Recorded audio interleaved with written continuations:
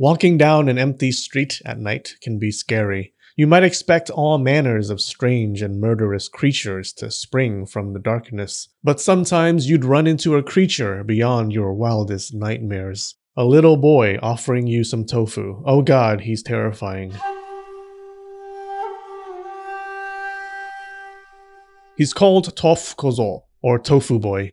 Kozo literally means young Buddhist monk, but it was a common word for boy, and tofu means vegan miracle jello. This yokai looks like a small boy wearing a big bamboo hat. He always holds a dish with a big block of tofu with a Japanese maple leaf stamped on the side. He looks like a young tofu seller, a common sight back in the day. They walked the streets, pouncing on unsuspecting tofu addicts. Now, that's how he commonly looks, but Japanese people were like, this is Japan, that's not weird enough. So, over the years, artists drew him in different ways. Sometimes he only has one big ol' eyeball, sometimes he has a long tongue, sometimes he has claws instead of toes. Tofu boys are usually silly and cute, never bad or evil. They live in cities where they roam empty streets and like to come out in the rain. They're super shy, so even when they see you, they like to tiptoe behind you, just following you like an adorable creep. New York City seems to be full of tofu boys. They can look lonely because sometimes they follow people who don't like being followed. If you happen to see one, it will offer you some tofu. Now, this is where you have to watch out.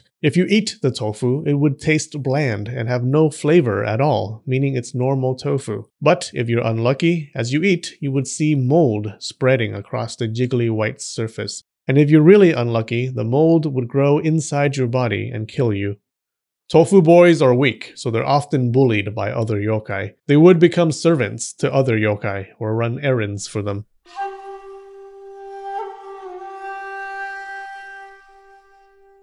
So where did this yokai come from? Many yokai originated from ancient Japanese beliefs or from the Japanese countryside where people lived much closer to nature and it scared the shit out of them. But the tofu boy was different. This creature was born in the city in the Edo period. We're not sure where he first popped up. Some nerds speculate that a tofu seller created Tofu Boy as a mascot for his shop. Or it could have been some advertising campaign or just some random artwork. The character's popularity blew up among the people, and pretty soon they started putting him in books and paintings and toys. It had grown outside of the tofu fandom.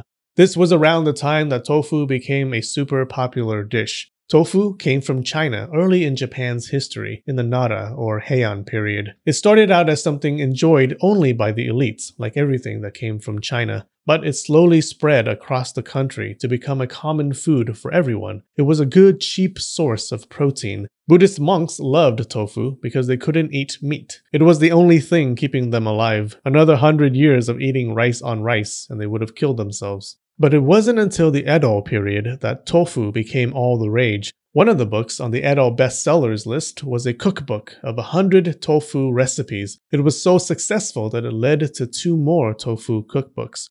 There's a connection between Tofu Boy and smallpox. Smallpox was the deadliest disease in Japan, and since the vaccine hadn't been invented yet, people thought of really effective ways to fight it.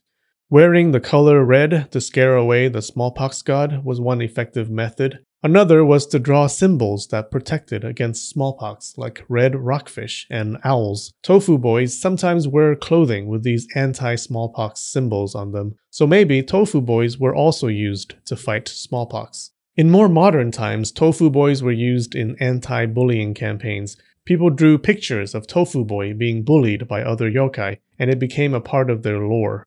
Some people think that the Tofu Boy was originally a Hitotsume Kozo, another similar looking yokai with one eye. Over time, their appearances and stories merged. They're often depicted as cousins.